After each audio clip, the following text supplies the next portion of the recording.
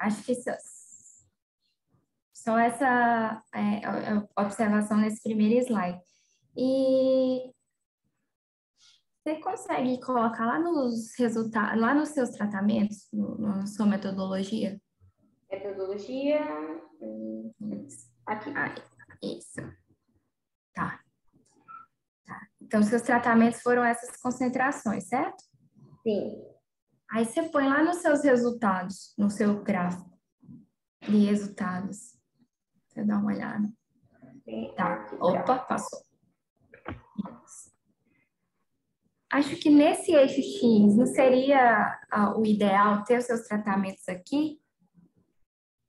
Porque é... se... hum.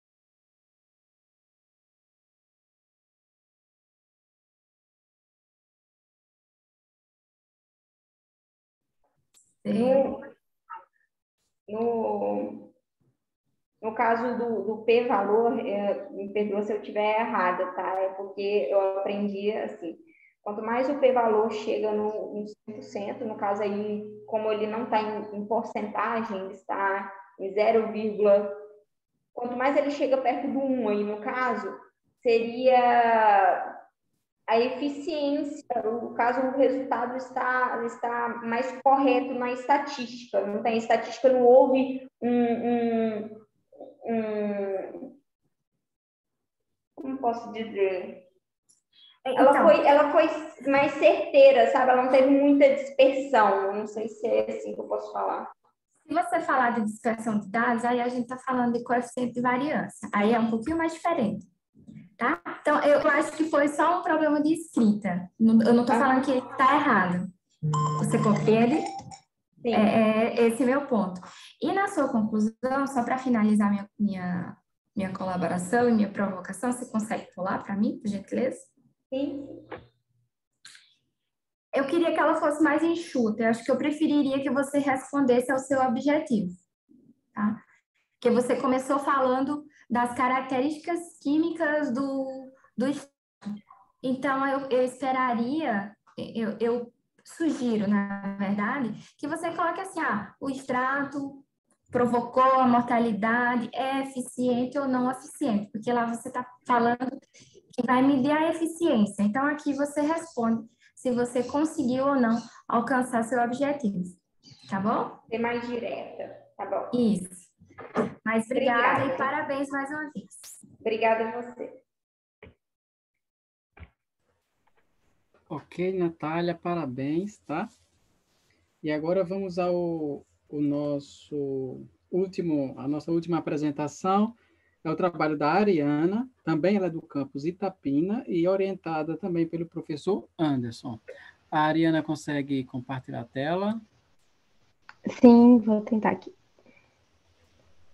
Elvis. Oi. Tem alguém mandando mensagem para você, para você no chat. Ah, sim. Quem vai fazer a sessão de nove? Estão vendo a minha página? Sim, sim. Uhum, pode, pode estar iniciando. Tá? Essa, essa mensagem que apareceu aí é só para mim ou para vocês também? Aonde? Para mim também. Aqui? É? O chat aparece para todo mundo. Não sei o que, que significa. Fechar. Parece que vai usar o mesmo, me, o mesmo link da sala para outras turmas apresentarem. Ah, pode ser. É devido, pode ser o horário, né? Que a gente não pode ultrapassar cada outra. É, mas eu, pode. Eu conversei com. Só licença, eu conversei com, com o Gustavo e ele me ah. passou o mesmo link. Ele disse que era para entrar na sala e 5 e meia começar a avaliação da D9. Ah, tá. Então estamos Beleza? ainda no prazo, né? Isso. Obrigado. Então, por favor, é, Ariana, pode iniciar a sua apresentação, tá bom? Obrigada. É, boa tarde, é, meu nome é Ariana Manhago, sou aluna da, do Estapina, do curso de Agronomia. É, estou aqui para apresentar o trabalho que tem como título Efeito do extrato da carqueja amarga, é, Baccharis temera, no controle do ácaro vermelho do café. É, o trabalho tem como autor eu, Ariana, a Natália, o Anderson, o Tiago.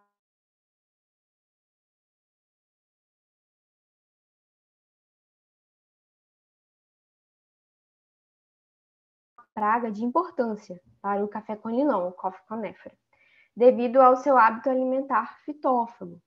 É, ele, esse ácaro, ele está presente na parte adaxial da, da planta e ele se alimenta ali do conteúdo extravasado da folha.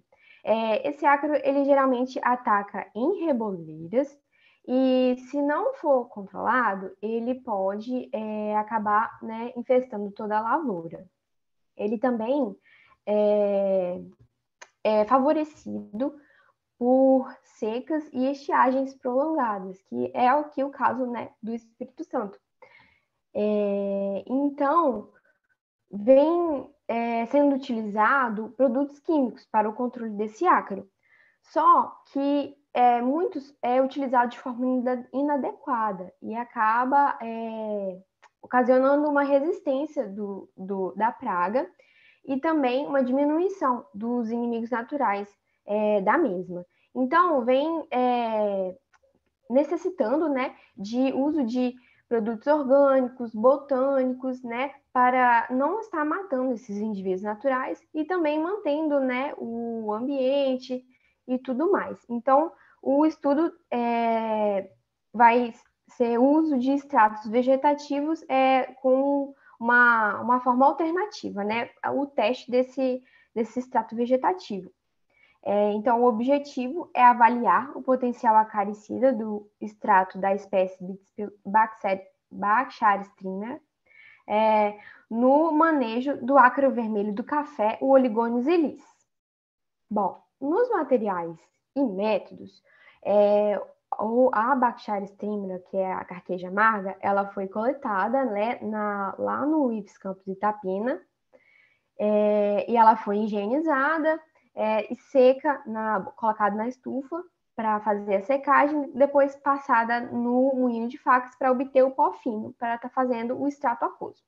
Então, o extrato aquoso, ele foi é, pesado, né, de acordo com as concentrações, adicionado água e o espalhante adesivo a 0,05% e colocado no agitador transversal por um período de 24 horas, para estar tá soltando ali, né, os, os resíduos que tem na planta. É, foi feita também uma testemunha com água e é, twin, de zero, com 0,05%.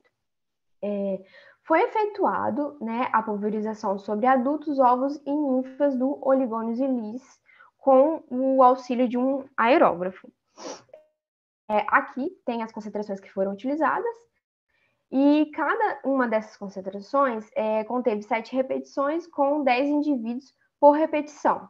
É, para adultos foram colocados as fêmeas nas arenas, que a, a, o que é a arena? A gente pegava é, uma placa de Petri, colocava algodão umedecido, né? E um disco de, de folha de café, que é onde os acros ficam, né? É, e aí umedecer o algodão para estar tá mantendo a turgescência da folha. Então, a gente colocava os adultos na folha, e aí fazia, a, são 10 adultos por, por placa, e fazia as aplicações das devidas concentrações e avaliado 24, 48 e 72 após cada aplicação. Já para ovos, é, foi colocado né, os adultos, esperado 24 horas para eles é, botarem ou ovipositarem. É, depois é retirado, depois das 24 horas, é retirado os adultos e padronizada a quantidade de ovos, 10 ovos por placa. É, aí, depois dessa padronização, é feita a pulverização dessas devidas concentrações e avaliado depois de cinco dias, que é o tempo médio que leva para o acro eclodir, né? Então, depois desses cinco dias, avaliado 24, 48 e 72 horas. Já para ninfas, é, é um pouco diferente. É feito colocados adultos, esperado 24 horas para eles ovopositarem, retirado os adultos depois dessas 24 horas, é, espera um período, é, padroniza a quantidade de, de ovos e espera um período de cinco dias para estar tá eclodindo e a gente obter as ninfas que é para aplicar sobre elas. Então, a gente espera cinco dias e é, aplica sobre as ninfas e aí avalia depois da, da aplicação 24, 48, 72 horas. E o delineamento utilizado foi o inteiramente casualizado. Bom, nos resultados e discussões, é, podemos observar que a mortalidade, é, tanto dos adultos quanto para ovos, é, foi, é, de acordo com que foi aumentando a concentração do extrato da Baccharistina, foi aumentando também a mortalidade. A questão da, da ninfa, a gente fez, só que a, na, quando foi avaliar a mortalidade, as ninfas, elas, tanto na testemunha e no extrato também, tava, morreu tudo. É, e a gente né, tirou uma conclusão que poderia ser por conta da umidade, que é muito alta, e a ninfa, ela é muito sensível, que ela é muito novinha. Então, a gente não obteve é, êxodo na parte das ninfas, só adultos e ovos. É... Próximo. Bom, aqui é, podemos observar que a, a, a CL50 é, obteve um valor de 0,36 para adultos, né? A CL90, 2,09 e para ovos foi a CL50 de 1,65 e a CL90 né, de 11,18. O coeficiente de, de inclinação é, obteve um valor de para adultos de 1,69 e já para ovos 1,54. Então, com uma, uma pequena quantidade, né, ali já obtém a mortalidade tanto para adultos quanto para ovos. Bom, foi feito também a análise química do, do extrato da Baccharis streamer, é, com, sobre os compostos fenólicos, taninos e flavonoides. Os fenólicos com 50,68, os taninos 79,17 e os flavonoides com 48,52. É, podemos observar que os taninos e os fenólicos é, obtiveram um valor maior. É, segundo alguns estudos, é, a gente pode dizer que esses compostos são supostamente é, responsáveis pela morte é, do ácaro do Oligonius ilis, pois os taninos eles, é, eles diminuem, eles são responsáveis por diminuir a digestibilidade do ácaro. Já os compostos fenólicos, eles são responsáveis, eles é, inibem a herbivoria, né? É, e em altas concentrações, eles acabam tornando o substrato ali, no caso que é a folha, impalatável para eles. Então, se eles não se alimentam, eles morrem, né? Então, essa poderia é uma justificativa né, pela morte dos mesmos. Aqui a, conclu a conclusão é que o extrato de Baccharis strima, ela apre é, apresentou né, efeito acaricida é, no ciclo de vida adulto e, e ovos, né? E é necessário novas pesquisas para comprovar a eficiência do mesmo a nível de campo, né? Porque esse, esse trabalho foi feito é, em laboratório. É, os agradecimentos é, ao IFES pela bolsa concedida, ao Campus Itapina pelo apoio no desenvolvimento é, da pesquisa, juntamente com toda a equipe do Laboratório de Entomologia e Acarologia Agrícola. Aqui algumas fotos do, do trabalho, a Bactiara Streamer aqui, aqui uma arena com o, o ligônios, aqui é o aerógrafo para aplicação né, do, dos extratos, Aqui a parte da avaliação e aqui a agitação de cada extrato para aplicação. E aqui está as referências bibliográficas utilizadas. E muito obrigada. Muito bem, Ariana. Parabéns pela, pelo seu trabalho, pela sua apresentação. É, parabéns também que você foi a única que é, é, apresentou dentro do prazo, tá? Até um pouquinho com um pouco de folga. Parabéns. Agora a ah, professora. A Obrigada. A minha a câmera ficou desligada. Agora que eu não, fui não. ver. Tudo bem, tudo certo. Agora a professora Maí, é, Maísa vai fazer as considerações, tá bom? Ah, eu queria que você tivesse deixado a apresentação, Ariana, mas tudo ah, bem. Ah, tá. Desculpa, desculpa. Eu vou colocar. Burra eu. Não. Ué, não tá aparecendo? Ah.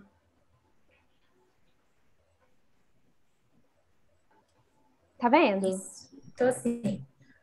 é, na sua introdução, eu achei muito, muito texto. Eu acho que você tem o conteúdo, você consegue dar uma reduzida.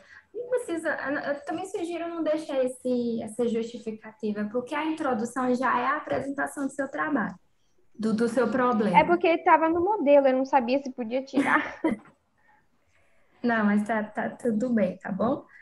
É, eu só anotei aqui algumas dúvidas. Você acha que as ninfas morreram por, por umidade mesmo? Que elas- É, por umidade. É porque elas são muito, assim, parece que elas são muito sensíveis. Elas são muito fracas. Aí é muito fraquinha. Aí a gente, entendeu? A mesma quantidade que estava aplicando para ovos e, e adultos, tipo, morreu. não- nem a testemunha ficava viva, porque a testemunha teria que ficar viva, né? Para ter algum resultado. É, Assim, pode ser que para a ninfa tenha que haver um ajuste, né? Quando a gente trabalha com fases de inseto, acontece muito isso. Você não usar a mesma dose para todos, porque existe uma fragilidade aí por parte da ninfa. É, é, fiquei com a dúvida também. Vocês trocavam esse disco de folha ou ele foi do, do primeiro dia ao último, o mesmo disco? Quando foi feita a aplicação, é do primeiro até o último.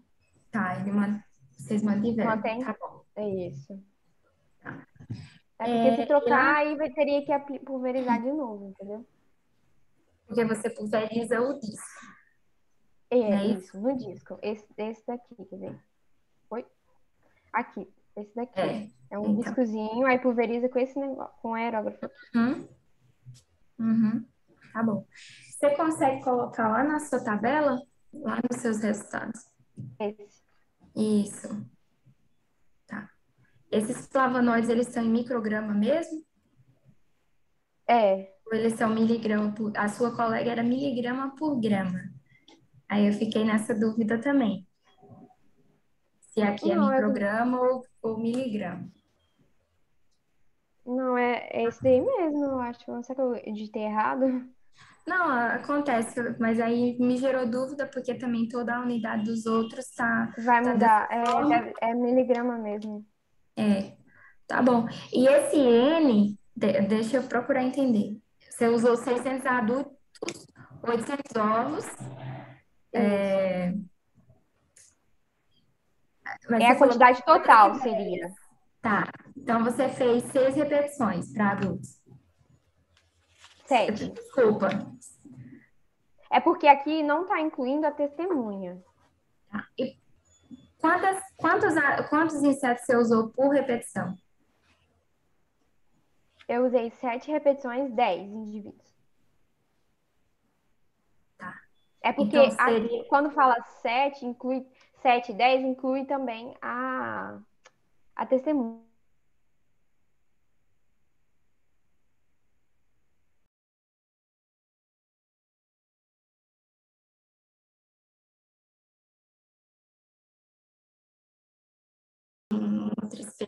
talvez, não sei. Aham. Mas eu fiquei com essa dúvida, porque o número de repetições não está batendo com o número de adultos e ovos que você fala lá na metodologia.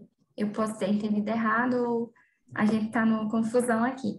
E no seu gráfico do- de resultados, eu sugiro a mesma coisa do, da sua colega anterior, tá? Você explicar melhorzinho o que está no seu eixo X, ou do eixo Tá. Y. Tá ok, o gráfico tá bonito, tem um, um envelope ali bonito, mas aí eu fiquei nessa, eu fiquei desejando ver no eixo X os seus tratamentos mais bem esclarecidos, tá bom? Mas no mais, seu trabalho tá muito bom, você tá de parabéns. Obrigada. Tá bom, obrigada.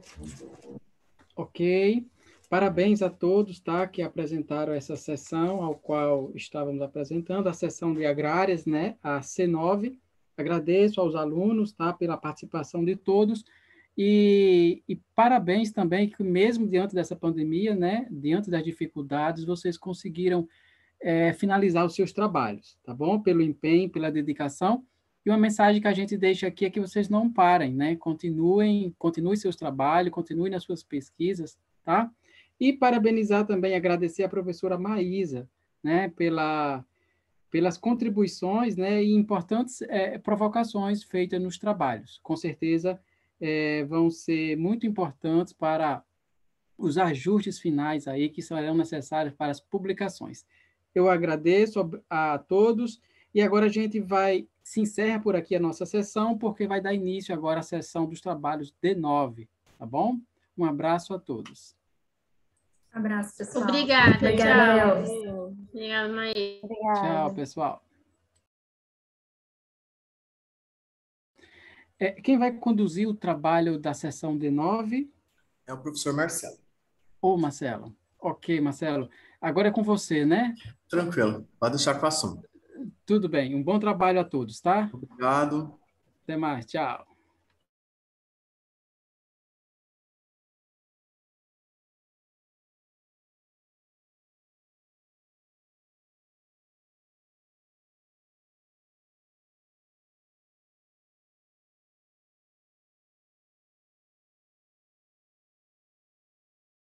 É, diante dos cursos, dentro dos cursos de é, tecnologia, é, engenharia de pesca, na coordenação do curso, dando aula nos cursos técnicos também e na pós-graduação.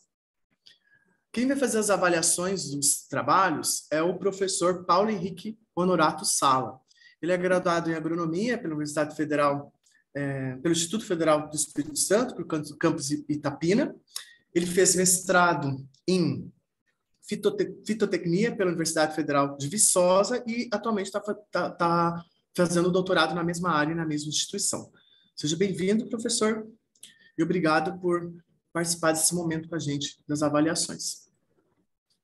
Professor, muito obrigado. É, acho que a gente pode dar início, né? Está um pouquinho atrasado já aí. Uh, a primeira, o primeiro aluno que vai apresentar é Só um minuto. Eu perdi. Calma.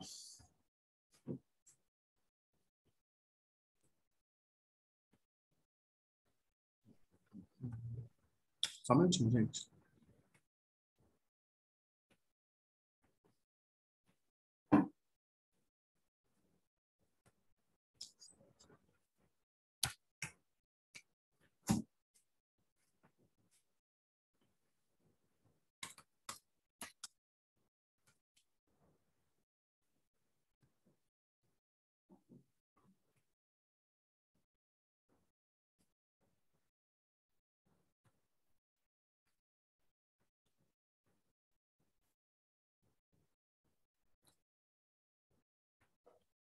O primeiro aluno que vai apresentar é a Rafaela. É, o seu orientador é o professor Ismael, do campus. Não tem aqui, depois eu vejo. Rafaela, por favor, pode começar. Você tem oito minutos para fazer sua apresentação, cravados, e o professor tem cinco minutos para fazer as arguições.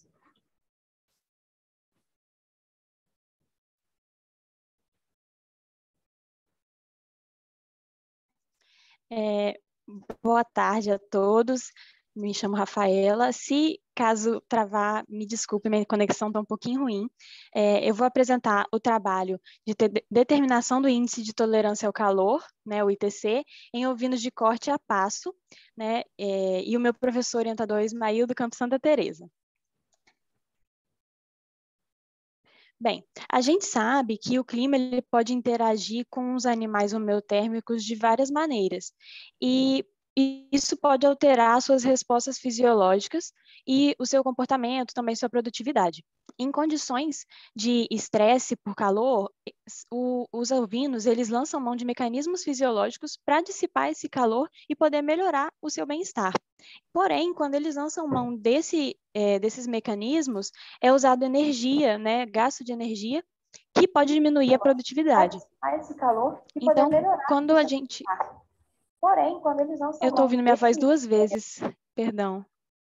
Isso, obrigada.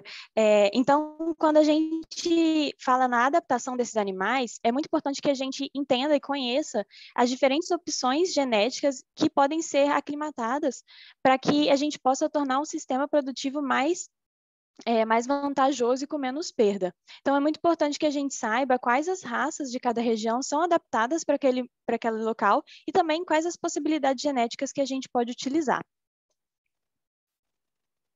Passei demais.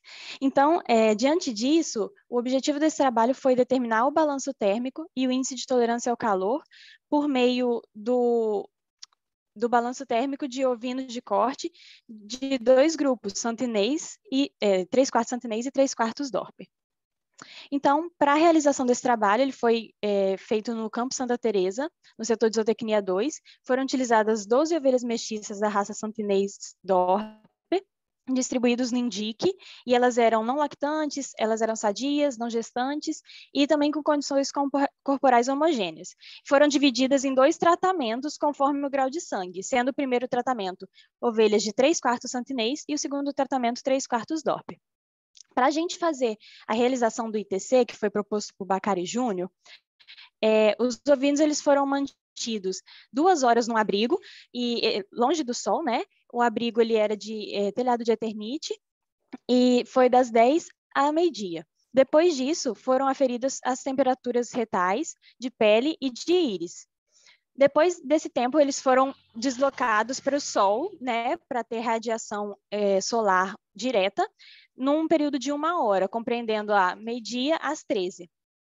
E depois de, desse tempo, né, nas 13 horas, eles foram re, uh, novamente realocados no abrigo, foram aferidas de novo as suas é, avaliações fisiológicas e é, do período das 13 às 14, eles ficaram mantidos à sombra, sendo retirados de novo as temperaturas retal, de íris e pele. Sendo que as temperaturas retais, as primeiras temperaturas retais retiradas e as últimas, elas foram, é, seriam utilizadas para o cálculo do ITC. E esse procedimento ele foi repetido por três dias. Opa, estou passando muito rápido.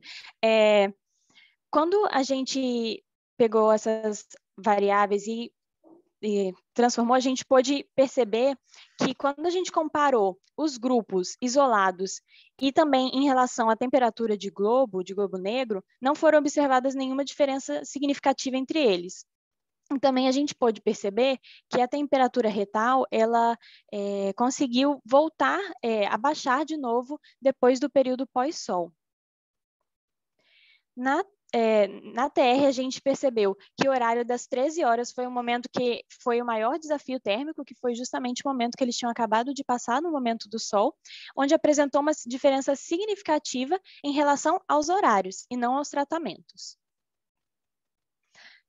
É, ai, perdão. Também foi observado que é, depois dessa uma hora que eles ficaram em estresse, foi, o, é, foi o suficiente uma hora depois também para que eles voltassem à sua temperatura é, normal e reduzissem a temperatura retal em ambos os grupos trabalhados, tanto o santinês quanto o DORP.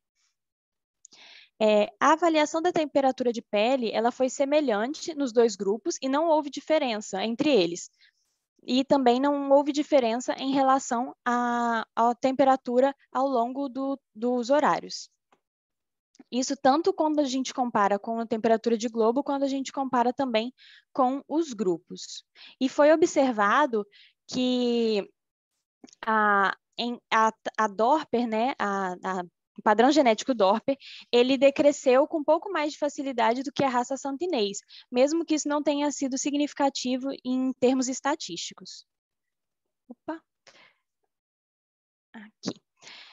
Bem, quando a gente relacionou a temperatura de pele ao quanto aos períodos de exposição, houve uma redução pequena e significativa entre os períodos pós-sol inicial e o período pós-sol e pós-sombra é, desculpa, período pós-sombra e os períodos pós-sol e pós-sombra final. É, quando a gente comparou com as temperaturas de globo. Então, a gente viu que, é, apesar de ter diferido estatisticamente para as temperaturas e os momentos, não, foi, não diferiu em relação aos grupos trabalhados, né, aos tratamentos. E para o ITC, o ITC ele apresentou um valor elevado, que é um valor de 9 a 10. E é o que a gente busca para é, entender se o animal está bem adaptado, é o, quanto mais próximo ao 10, é o que a gente busca, né? Ele está mais adaptado àquela condição. Então, a gente pôde aferir que as duas raças, os dois graus de raça, eles são muito bons para adaptação a regiões mais quentes e não diferiram entre si. Então, a gente pode concluir que os animais com maior grau de sangue Dorper, eles não vão apresentar, é, eles vão se, se apresentar mais adap tão adaptados quanto os santinês, não diferindo estatisticamente para sua tolerância ao calor. Isso indica que a gente pode utilizar animais que são mais é, produtivos em questão de carne, né, é, com animais mais com mais sangue Dorper, e isso não vai diminuir a sua produtividade quando comparado às alterações térmicas. Então, a gente tem aqui algumas imagens do período experimental, né, dos dois grupos, e é, uma avaliação fisiológica, é, variável climática também, que foi a temperatura de globo negro que a gente retirou para poder fazer as comparações entre é, a temperatura, as temperaturas corporais e a temperatura de, do, e o, a variável climática. E é isso. É, não usei referências, porque todas as imagens foram tiradas a campo mesmo. Obrigada. Obrigado, Rafaela. É, professor, você tem cinco minutos para fazer as arguições. Beleza. É, obrigado, professor. É, parabéns, Rafaela, pelo trabalho. É, parabéns ao seu grupo também, com o seu orientador, e acredito que você tenha gente dá ajuda dos seus colegas também de grupo de pesquisa, né? É, vocês estão de parabéns, trabalho muito bem realizado. É, tenho algumas considerações aqui, mais dúvidas mesmo. É, ex existe uma temperatura ideal é, determinada para que os animais tenham um melhor conforto térmico? Você sabe me falar qual, que temperatura seria essa?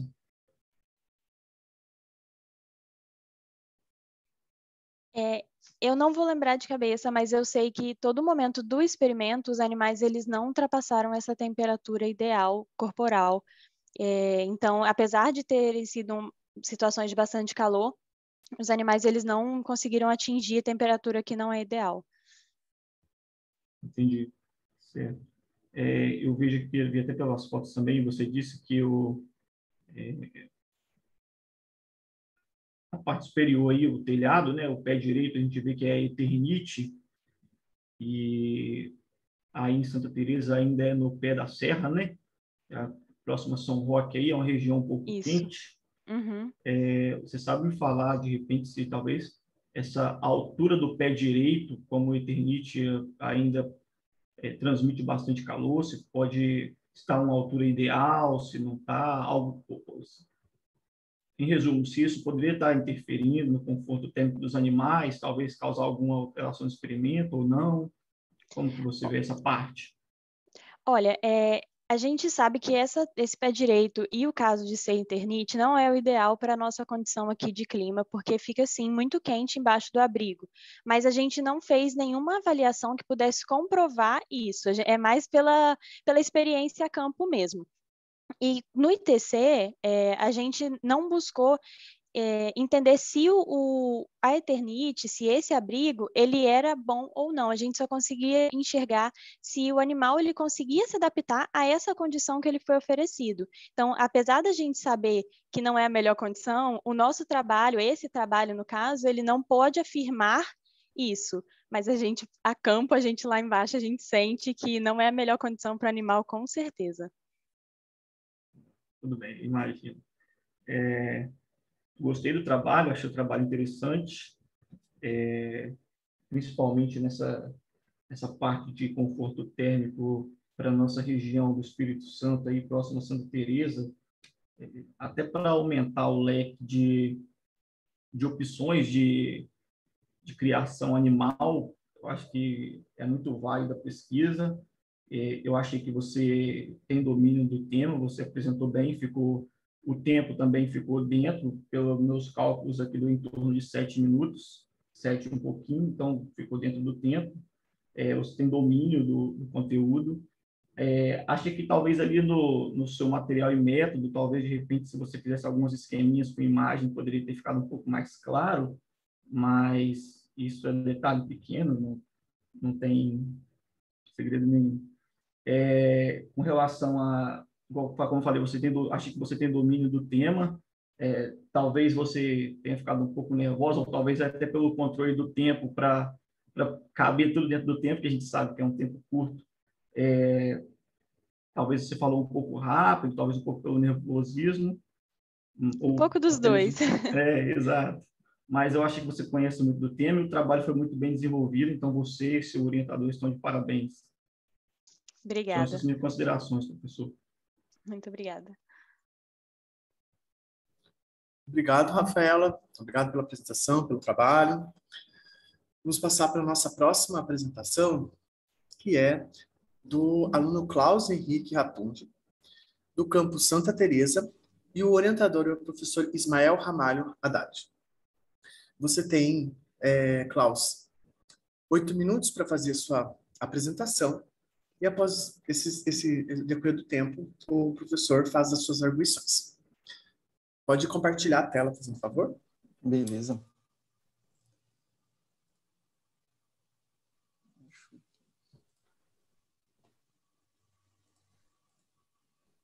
Estão visualizando minha tela? Ainda não. Agora sim. Ah, tá. Desculpa, gente, eu não vou conseguir ligar a câmera porque eu tô com um probleminha no cabo flat. Aí ele, ela não liga de jeito nenhum. Tem algum problema? Não. Tá, desculpa. Enfim, gente, boa tarde a todos. É, esse trabalho que eu vou apresentar é um complemento do trabalho apresentado anteriormente pela Rafaela, e eu vou apresentar o índice, o índice de uso das vias termolíticas latentes em ovinos de corte a pasto. Então, os autores foram eu, a Rafaela e o meu professor Ismael Ramalho Haddad. Então, para introduzir um pouquinho do assunto, a gente tem que o Brasil ele é um dos maiores produtores de carne ovina da América Latina e também é um dos maiores consumidores.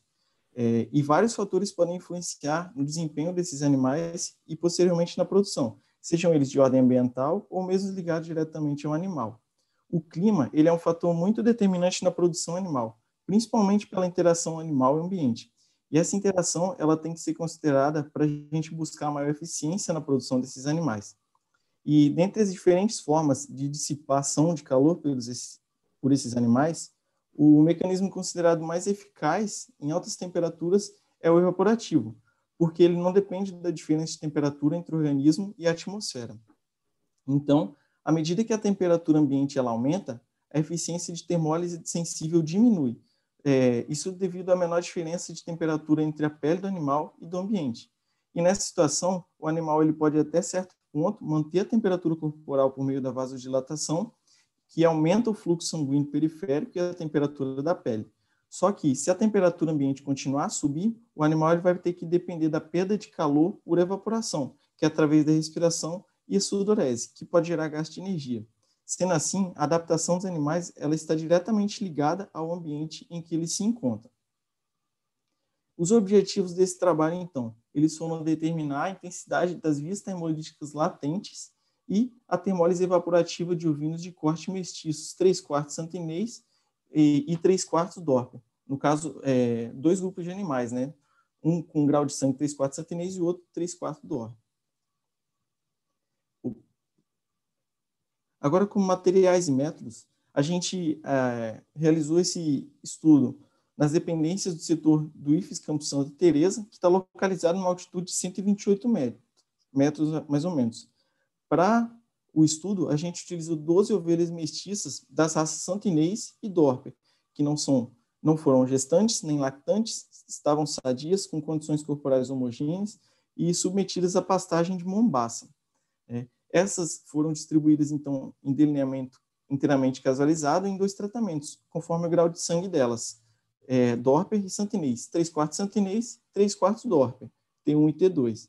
Essas avaliações elas foram realizadas nos dias mais quentes do ano, do verão de 2020 a 2021, eh, sempre acompanhando as, as variáveis climatológicas, o que corresponde ao maior desafio térmico para os animais, com temperaturas que podem chegar a entre 30 e 35 graus Celsius e uma radiação máxima em torno de 800 a 1000 watts por metro quadrado. É, aí, para a gente avaliar a termólise latente sensível dos animais, a gente obteve os dados referentes à frequência respiratória, à taxa de sudação e as variáveis climatológicas, temperatura do ar, globo negro, é, umidade relativa, velocidade do vento e radiação. Para a frequência expiratória, a gente observou os movimentos por minuto diretamente no flanco direito dos animais. Já a taxa de sudação, a gente fez pelo método colorimétrico de Schlegel Esses procedimentos, eles foram realizados três dias em três momentos. Primeiro momento, é, no período pós-sombra inicial por duas horas, que se iniciou às 10 a meio-dia. Depois, pós-exposição ao sol por uma hora, que foi de meio-dia às uma. E terceiro período, pós-exposição à sombra por uma hora após o período 2, ou seja, de uma às duas horas os animais permaneceram é, ao sol de novo. Então, as temperaturas de globo negro foram registradas pelo intermédio de globo negro de Vernon, a temperatura máxima e mínima com termômetro de máxima e mínima digital, a umidade relativa com termohigrômetro, a velocidade do vento com anemômetro, a radiação com luxímetro. Pronto é, em relação aos resultados de discussão. Né? A gente obteve temperaturas médias máximas é, em torno de 36 graus Celsius, né? nos horários de, de meio-dia, principalmente, de meio-dia às uma, né? É, uma hora, na verdade. No entanto, quando essa variável ela foi contrastada com os ambientes com e sem sombra, essas diferenças elas não foram tão grandes assim. É, foram observadas variações de no máximo 4 graus Celsius nos valores máximos e mínimos em relação àquelas no céu aberto. A temperatura máxima do ar foi registrada às 14 horas, né? ou seja, chegaram a temperaturas de 36,9 graus Celsius e as mínimas às 12 horas, as mínimas, na verdade, às 12 horas à sombra, 32,2 graus Celsius aqui. Né? Em relação à radiação, a gente obteve valores máximos de 1.028 é, watts por metro quadrado. Em relação à umidade relativa, ela se manteve aí entre 47 e 65 é, por cento, e a velocidade do vento ela estava dentro daquela que é sugerida para a criação de, de ovinos, que é de 0 a 1,8. Né? Agora, falando um pouquinho das frequências respiratórias, né, a gente observou que os ovinos do grupo Doppler eles utilizaram com maior intensidade o uso da polipneia, ou seja, a frequência respiratória. A gente pode observar isso aqui no canto esquerdo da imagem. Né? E isso foi registrado pelas maiores frequências respiratórias em todos os horários quando elas foram comparadas com o grupo santinês. As maiores frequências respiratórias elas foram observadas às 13 horas, a, a gente observa pela cor verde, e apresentou diferença significativa. Às 12 horas também houve essa diferença significativa em relação aos grupos, o que não ocorreu às 14 horas. Quando a gente vai aqui para o canto direito, na imagem 2, a gente tem um aumento na temperatura de globo negro.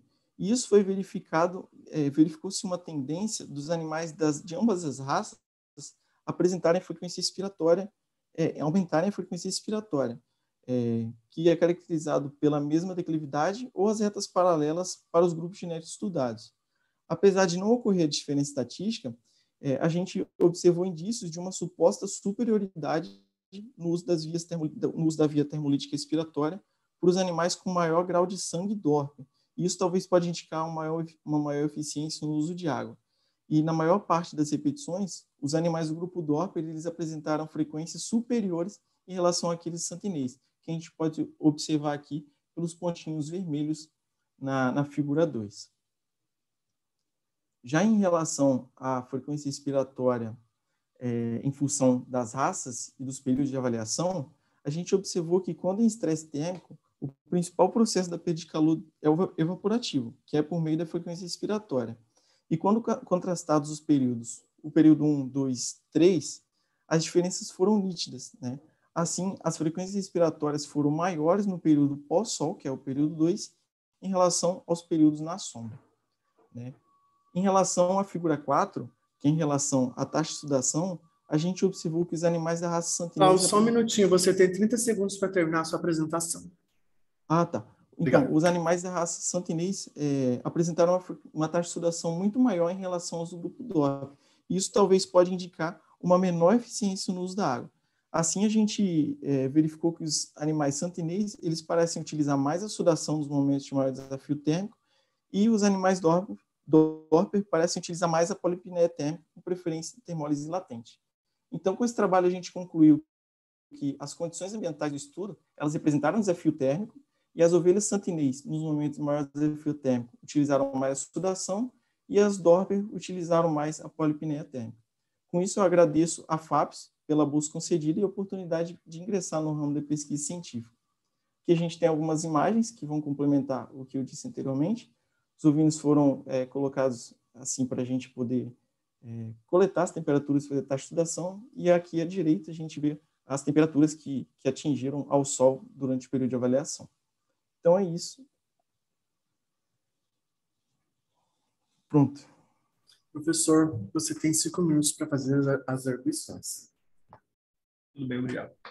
É, parabéns, Klaus, pela apresentação. Trabalho muito interessante também. Parabéns à equipe, professor Ismail e o colega Rafael, que apresentou anteriormente, que vocês trabalharam juntos, né? É, Isso. Interessante trabalho.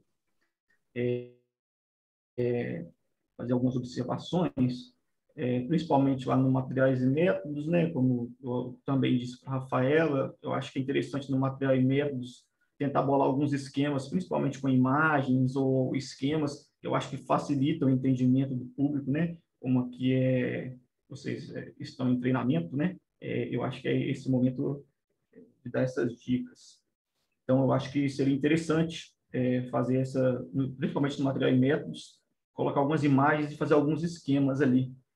É, eu percebi que você também tem domínio do tema, é, você estudou para apresentação, é, talvez tenha ficado um pouco nervoso também, até por, por tentar encaixar o, é, todo o trabalho nesse tempo que foi disposto para vocês, né? Que não é um tempo muito curto, só que é, isso também é uma questão que vai muito do treinamento.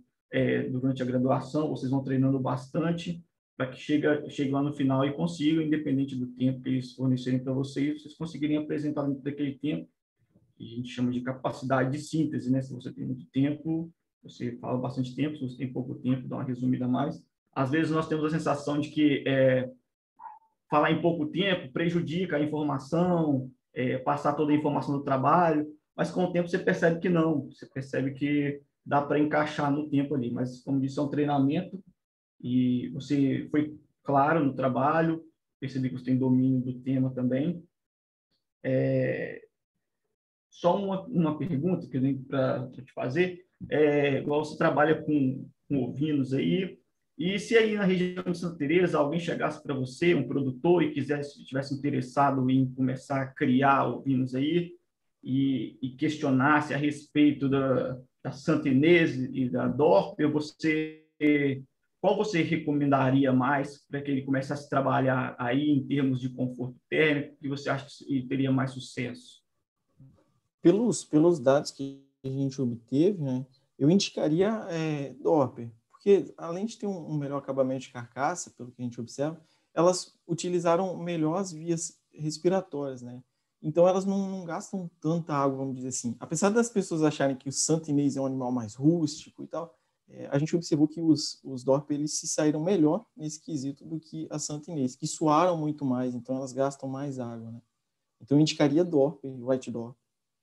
Entendi. É, e você tem alguma ideia de que por que o, o Santo Inês é, talvez, em certa forma, sofra mais com o calor? Se está na origem, tá? Se você tem alguma ideia de que pode ser? Pode ser. Eu, eu também não tenho essa informação, porque Doppler uhum. e White Doppler são sul-africanas, né? Então, talvez elas é, se adaptaram melhor a essas condições e respiram mais do que a Santa Inês. Não, não sei te trazer essa informação clara, mas penso que seja isso. Tudo bem. É, no mais, era só isso mesmo. É, tá de parabéns mais uma vez, você, sua equipe. Igual eu falei, são pequenos ajustes, que são coisas de treinamento que vocês vão passando ao longo dos anos aí e que você, com certeza, é, dão conta. Mas, é no mais, estão de parabéns. É, tem estudado bastante, tem apresentado domínio do conteúdo. Então, de parabéns você e a equipe. Obrigado, Paulo. Uh, Klaus, obrigado pela apresentação. Só quero fazer um adendo aqui, pessoal. A, é jornada de integração. Integrar significa participar. Então, os, vocês, os estudantes, vocês têm que ficar até o final de todas as apresentações. Tranquilo? Vamos lá para a nossa próxima apresentação, que é da Luanine de Souza Chapir, Chapinel, é, do campus de Alegre. e a orientadora é a professora Aparecida de Fátima Madela de Oliveira. Luane, você se encontra na sala? Sim. Vocês me ouvem? Sim. Pode compartilhar sua apresentação, por favor? Estão me vendo? Sim. Compartilhar. Você tem, como já foi dito, né, oito minutos para apresentação. E, a posteriori, o professor tem cinco minutos para as arguições. Boa apresentação. Obrigada. Boa noite. Vou apresentar o trabalho intitulado Avaliação do Bem-Estar Animal de Bovinos de Leite pelo protocolo Wayfair Quality. Meu nome é Luane de Souza Charpinel, orientadora Aparecida de Fátima Madela, pelo campus de Alegre. Introdução justificativa. O bem-estar animal. Segundo Donald Brum, 1986, o bem-estar animal é o estado de um indivíduo em relação às suas tentativas de se adaptar ao meio em que vive. E é um estudo que tem avançado consideravelmente. Ele é um estudo essencial para o mercado de produção animal. E o consumidor ele tem se tornado muito exigente na aquisição desses produtos. Assim, o consumidor procura por produtos de boa procedência e que respeitem as boas práticas e a preservação ambiental. E quando se trata de bovinos de leite, o bem-estar animal e as boas práticas estão associados é, à qualidade e à quantidade do leite, ou seja, quando esse bem-estar animal ele está prejudicado, influencia na, na má qualidade e na, na pouca quantidade de leite. O protocolo Wayfair Quality ele foi criado a fim de ser uma forma científica de avaliação de bem-estar de animais de produção, podendo mensurar os dados comportamentais, fisiológicos de saúde e de produtividade. O objetivo geral do trabalho foi avaliar os parâmetros de bem-estar de bovinos de leite, baseado no protocolo Wayfair Quality, que são quatro princípios: boa alimentação, bom alojamento, boa saúde e o comportamento apropriado. Materiais e métodos.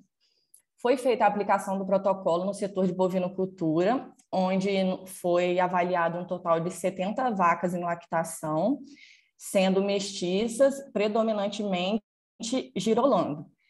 Após eh, houve a realização das análises e coleta de dados, em seguida obteve os resultados dos critérios de bem-estar e foi feita a análise estatística por meio de frequência, os resultados e discussão. No gráfico A, podemos ver a score de condição corporal das vacas, que é um critério do princípio de boa alimentação.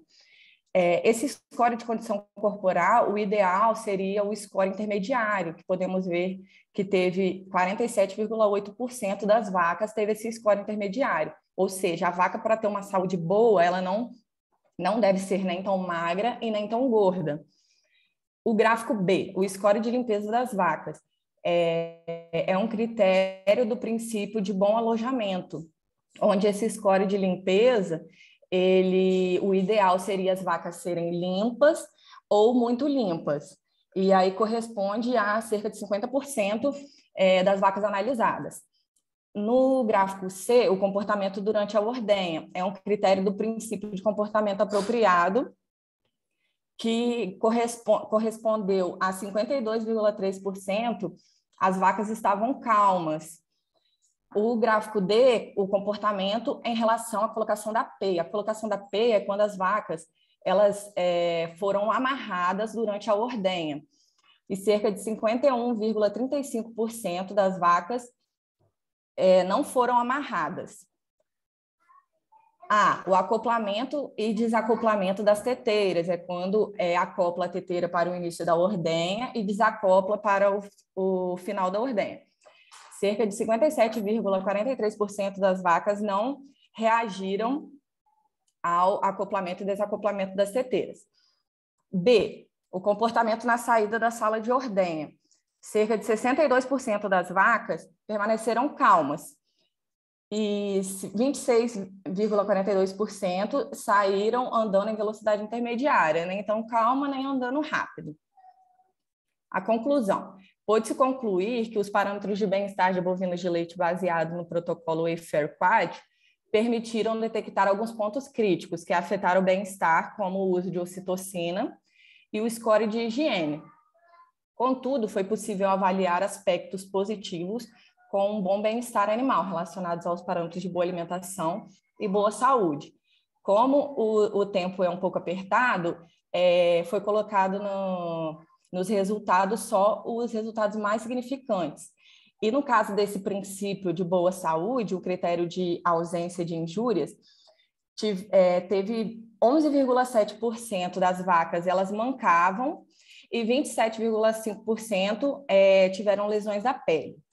Os agradecimentos. Agradeço ao IFES pela bolsa concedida e ao setor de bovinocultura de leite pela oportunidade de realizar a pesquisa científica. Aqui temos as fotos do experimento, a aplicação do protocolo, a obtenção dos resultados e as referências utilizadas nessa apresentação.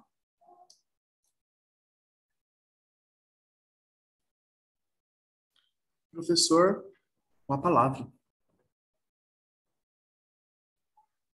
Obrigado, professor. É, Luaine, é, pronuncia seu nome? Luaine. Luaine. Isso. É, desculpa. É, parabéns pelo trabalho, pela apresentação. É, parabéns à equipe também, o seu orientador.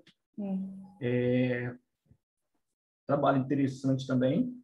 É, eu vi que você apresenta confiança para falar do trabalho e domínio, significa que você realmente está por dentro do que você está falando, tem domínio do, do, do seu tema. É, acho que você poderia ter aproveitado um pouquinho melhor o tempo, você apresentou com 5 minutos e 13 segundos, pela minha é por causa aqui. do nervosismo, aí acaba falando mais rápido. Desculpa. É, é, de repente, talvez até detalhado um pouco mais ali na metodologia, é, alguns detalhes a mais, né? Uhum. É, seria interessante, principalmente é, para pessoas que não são tão, não têm tanto conhecimento a respeito do tema. Acho que é, poderia valorizaria um pouquinho mais o trabalho, é vender seu peixe mesmo, né? Como nós falamos, nós temos que vender bem nosso peixe, né? Uhum. Você apresentou muito bem. É, uma curiosidade minha é, vocês é, partem do princípio de que, é, de acordo com o protocolo, né? Uhum. É, o, como posso dizer? É, a característica própria do animal é, não tem influência no resultado, né? Eu entendi isso correto? Tipo assim, é, é os animais são diferentes uns dos, uns dos outros, né? Então, vocês partem do, do princípio de que o, apenas o ambiente em si que está influenciando no comportamento do animal, no caso, seria nesse, nesse método de... Interação humano-animal também influenciou muito. Entendi. Ah, correto. Beleza. É, no mais era isso. É, como eu disse, poderia ter aproveitado um pouquinho mais só o tempo, mas você está é, com domínio do trabalho, achei o seu trabalho um trabalho claro, você é, tem domínio do conteúdo e a equipe está de parabéns. Obrigada. Então, essas considerações, professor.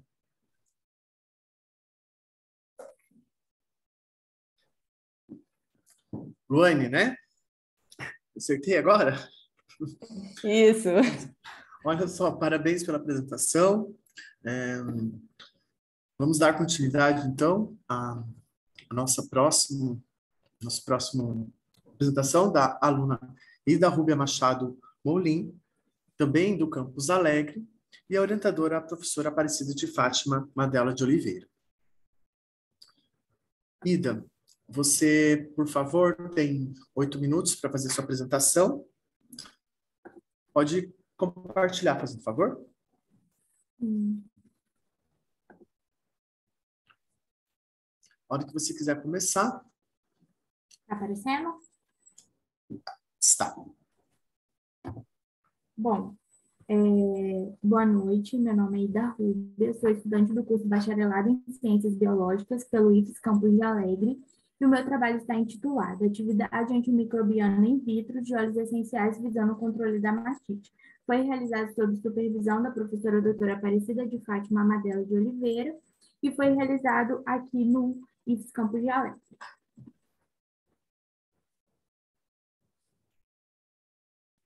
Conseguindo passar. Bom, primeiro, o que é mastite? A mastite é uma inflamação da glândula mamária causada por diversos patógenos.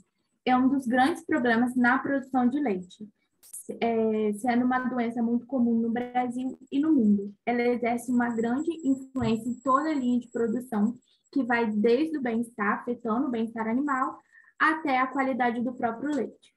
Um dos principais agentes causadores da mastite se destaca o Staphylococcus aureus. Ele é considerado um microorganismo de difícil tratamento, pois possui uma alta resistência aos antibióticos. Essa resistência é devido ao uso indiscriminado e o mau uso desses antibióticos. E além da resistência que esses antibióticos causam, eles podem gerar acúmulos, principalmente no leite, e acaba é, sendo prejudicial para a nossa saúde. É, por isso é necessário buscar métodos alternativos, como o uso de óleos essenciais, é, que são métodos é, naturais, é, que não têm efeitos secundários, e eles apresentam baixo custo, fácil utilização e podendo ser uma alternativa sustentável para o pecuarista. O objetivo do meu trabalho foi selecionar diferentes óleos essenciais e em diferentes concentrações e avaliar a atividade antimicrobiana é, sobre um dos causadores da mastite, o Staphylococcus aureus. O primeiro passo do meu trabalho foi a obtenção dos óleos, onde eu selecionei dois óleos, o óleo essencial de melaleuca e o óleo essencial de eucalipto. O óleo de eucalipto ele foi obtido através da extração das folhas, onde eu coletei aqui no IFES, e foi feita a extração por meio da hidrodestilação aqui no laboratório. Já o óleo de melaleuca, ele foi comprado em uma loja especializada em vendas de produtos naturais. Depois, com esses dois óleos, foi feita a cromatografia, onde é um aparelho onde consegue identificar os compostos desses óleos e as, é, as porcentagens desses óleos e desses compostos. As cepas bacterianas utilizadas foram cepas padrões, já adquiridas no laboratório de Staphylococcus aureus. E aí, com as cepas e com os óleos, foram é, montados os ensaios microbiológicos, que foi o método de fusão em disco, é, onde foi utilizado cinco concentrações diferentes de cada óleo. Então, teve a concentração de 3 mil, 5 mil, 7 mil, 9 mil e 11 mil microgramas. E aí, esses óleos eram colocados num disquinho de papel, e esse disco de papel era colocado é, nas placas, contendo meio de cultura, já contaminados com o estafilococcus. E aí, essas placas eram levadas para a estufa por 24 horas. Depois desse período de 24 horas, era feito o screen da morte microbiana, que era a medição dos halos ao redor desse disco. E aí, com os dados, foram feitas as análises estatísticas no método de, é, de médias é, CNK pelo programa SAS. Como resultado da cromatografia, o óleo essencial de melaleuca apresentou como predominância os compostos terpineno 4-ol, com 48,51%, e o gama-terpineno, com 22,25%. E já os óleos de eucalipto apresentou como composto majoritário o eucaliptol, com 48,95%, e o alfa-pineno, com 36,18%. É, diversos autores é, encontraram esses mesmos compostos nesses óleos, porém com as concentrações é, diferentes, porque é, os fatores ambientais, principalmente né, os fatores ambientais, podem interferir nessas porcentagens, como o clima, a época de colheita é, e entre outros. Na tabela, são os valores médios é, dos halos de inibição formados pela ação dos óleos essenciais em diferentes concentrações. Então, é, depois da, da, análise estatística, a gente obteve essa, esse, essa tabela e é possível identificar, observar que o óleo de melaleuca, as médias, elas são maiores dos halos do que do óleo de eucalipto. E quanto maior a concentração desses óleos, maior também será o halo de inibição. Porém, o óleo de eucalipto, a partir da do, da, de 7 mil microgramas do óleo, que é a concentração 7, é, até 11 mil, não tiver tanto significativo, é, diferença significativa. Eles tiveram diferenças, mas muito poucos, então não teve diferença significativa. E já o óleo de melaleuca, a 11 mil, teve uma diferença significativa entre as outras concentrações. Isso significa que quanto maior a concentração do óleo, maior a sensibilidade dessa bactéria. Então, é, quanto maior a concentração, maior a concentração de, de compostos, significando que as bactérias têm essa sensibilidade. E por isso que essa, é, existem essa diferença, esse maior A. É, Conclui-se que os óleos essenciais testados apresentam bom potencial para atividade antimicrobiana sobre estafilococcus utilizando a metodologia de fusão indígena. O óleo essencial de melaleuco sobressaiu o óleo de eucalipto, enfatizando que quanto maior a concentração do óleo essencial, maior a inibição do crescimento das bactérias, que é como eu expliquei, quanto maior a concentração, maior vai ser a concentração dos compostos majoritários e maior a sensibilidade dessas bactérias é, em frente a esses óleos essenciais. Os óleos essenciais apresentam importante potencial como fonte de novos compostos antibacterianos para o controle da mastite bovina. Quero agradecer ao IFES pela bolsa concedida e o Laboratório de, de Química do Campo de Alegre pela oportunidade de estar realizando a pesquisa. Aí a foto do experimento, é, feito a extração do óleo das folhas de eucalipto por hidrodestilação, é, montando um ensaio, né, coloca a bactéria para crescer e colocando o óleo essencial no disquinho de papel, na estufa, e o resultado da placa, com um halo de inibição. É isso.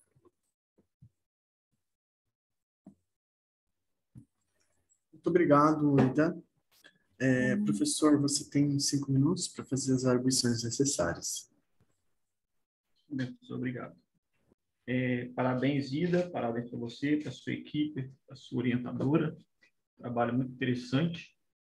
É, nós sabemos que a utilização de de produtos é, no controle de mastite indiscriminado causa seleção é, de indivíduos existentes, né? E com o tempo eles vão perdendo eficiência.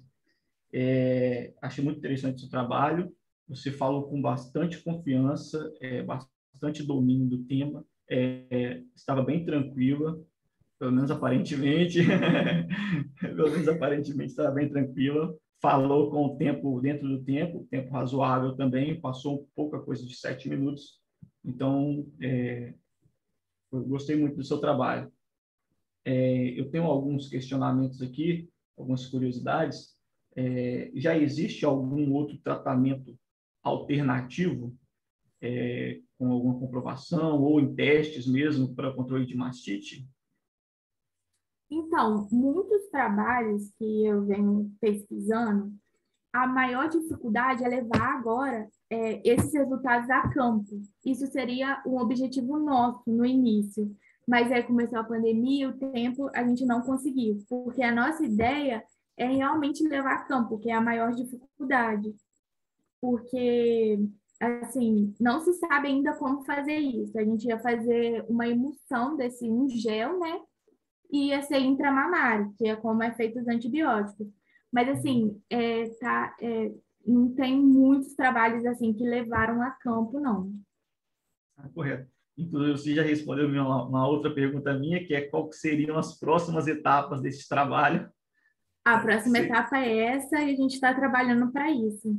E, assim, é, além do, dos medicamentos, é essencial o bem-estar desses animais porque já foi comprovado que o estresse pode causar mastite, e também todos os protocolos, que desde a higiene até toda a lavagem do, do, do, da ordenha, tudo. E o manejo Entendi. desses animais.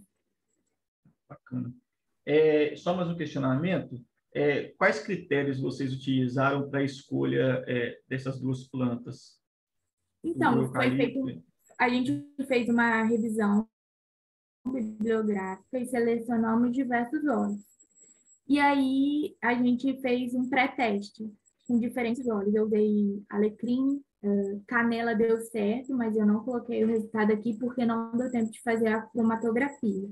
Mas de canela foi Nossa, foi o melhor resultado que teve. É, mas eu fiz de alecrim, de hortelã, e assim, a gente fez um pré-teste. Aí os que deram melhores, a gente seguiu a pesquisa. Entendi. Legal, gostei bastante. Parabéns para você e para sua equipe. Obrigado pela apresentação. É, é, agora a gente tem uns minutinhos aqui para conversar um pouquinho e promover uma interação entre os, os, os estudantes. Ver se vocês querem perguntar alguma coisa, se vocês querem salientar alguma, alguma outra informação. Eu só queria dizer, Lida, que aqui no Campus Prima a gente trabalha também muito com esse, esse, mesmo experimento que você faz, só que a gente faz com algumas bactérias na, na superfície do pescado, né? Gente faz extração com os óleos essenciais e nós ainda temos também os mesmos problemas, né?